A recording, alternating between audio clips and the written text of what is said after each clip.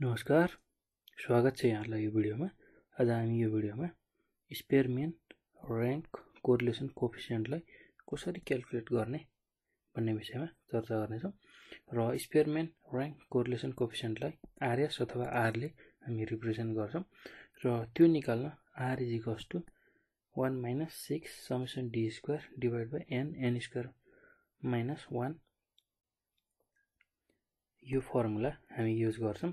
र यसमा यसले समेसन जनाउँछ। यो सिम्बोलले जसको काम भनेको भ्यालुहरूलाई समअप गर्नु हो। र ऱ्याङ्क कोरिलेसन कोफिसियन्टको रेन्ज भनेको माइनस वानदेखि प्लस वानसम्म हुन्छ। र हामी हामीलाई यो फर्मुलामा युज भएको सिम्बोल पनि थाहा हुनुपर्ने हुन्छ। जसले गर्दा हामीलाई प्रब्लम गर्न एकदम सजिलो हुन्छ।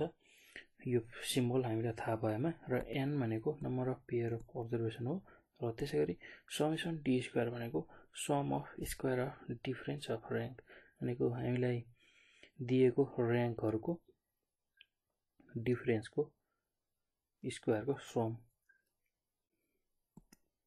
स्क्वायरको सम यसरी समेसन डी स्क्वायरको रूपमा हामीले लेख्छौँ। एकदम सजिलो छ।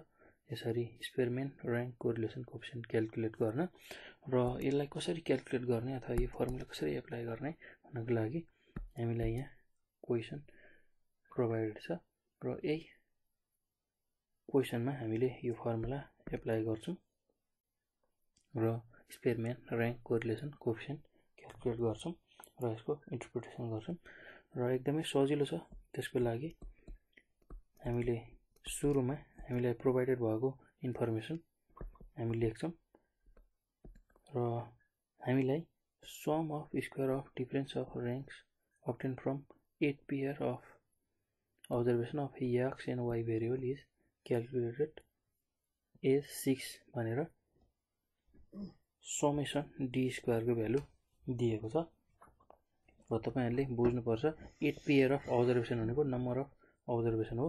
नम्बर अफ अब्जर्भेसन हामीलाई एनको भ्यालु एट दिएको छ। त्यसै गरी sum of square of difference of rank summation D स्क्वायरको value हामीलाई सिक्स दिएको छ। Sum of square of differences of ranks यसको भ्यालु समेसन डी स्क्वेयरको भ्यालु हामीलाई सिक्स प्रोभाइडेड छ र हामीलाई rank correlation coefficient R calculate गर्नुपर्ने छ र त्यसको लागि हामी फर्मुला युज गर्छौँ। Now using the formula for Spearman's correlation coefficient र हाम्रो फर्मुला छ R is equals to one minus six summation D square divide by N N square minus one र हामीलाई यहाँ समेसन डी स्क्वायर र एनको value provided छ र यसबाट हामीले आरको भ्यालु इजिली क्यालकुलेट गर्न सक्छौँ। सिक्स इन्टु समेसन डी स्क्वायरको भ्यालु हामीसँग सिक्स छ डिभाइड बाई एट हाम्रो एनको भ्यालु छ र एन स्क्वायर भनेको एट स्क्वायर माइनस वान यो भ्यालु हामीले क्यालकुलेट गर्नुपर्ने छ। र one minus six into six गर्दा thirty six divide by एटको square minus one into eight गर्दाखेरि फाइभ जिरो फोर पाउँछौँ। र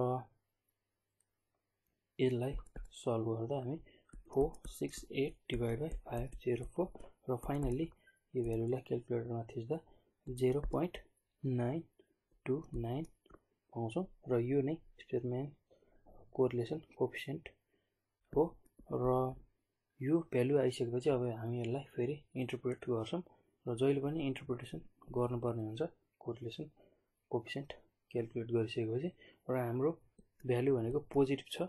र वानको नजिक भएको हुनाले हामी यसलाई high degree of positive correlation भनेर भन्छौँ। र मैले तपाईँहरूलाई एउटा भिडियोमा कसरी इन्टरप्रेट गर्ने कोरिलेसन कोफिसियन्टलाई भनेर राखिदिएको छु। त्यो भिडियोलाई पनि हेर्नुहोला तपाईँहरूलाई इन्टरप्रिटेसन गर्न गाह्रो लाग्छ अथवा कन्फ्युजन लाग्छ भने त्यो भिडियो एकचोटि तपाईँहरूले हेर्नै पर्ने हुन्छ। र त्यो भिडियोमा भएको इन्टरप्रिटेसनको रेन्ज कति बेला हाई भन्ने कति बेला मोडरेट भन्ने अथवा कति बेला लो भन्ने कति बेला पोजिटिभ भन्ने कति बेला नेगेटिभ भन्ने कोरिलेसनलाई त्यो कुरा त्यो भिडियोमा समावेश गरिएको छ।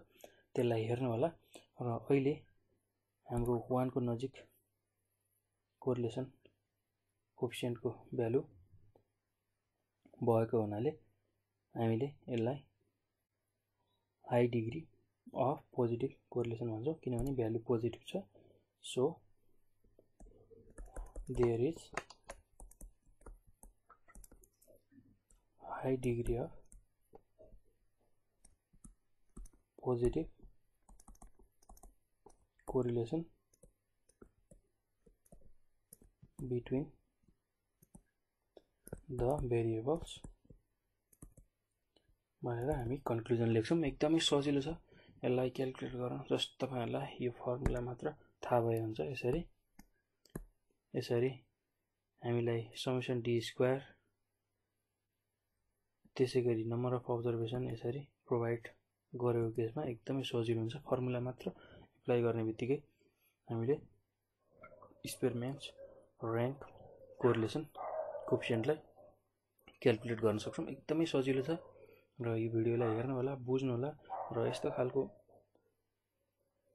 क्वेसन अथवा प्रब्लम इक्जाम पोइन्ट अफ भ्यूबाट इम्पोर्टेन्ट छ। प्राय गरेर two मार्क्समा Spearman rank correlation coefficient calculate गर भनेर सोधिरहेको हुन्छ बोर्ड इक्जाम अथवा इन्टरनल इक्जाममा र यो भिडियोलाई हेर्नु होला बुझ्नु होला र यो भिडियो हेरिसकेपछि यसलाई कपीमा एक दुईपटक प्र्याक्टिस गर्नु होला। एकदमै सजिलो छ। र तपाईँहरूले यो भिडियो हेरिसकेपछि यसलाई लाइक सब्सक्राइब र सेयर गर्न नभुल्नुहोला। धन्यवाद।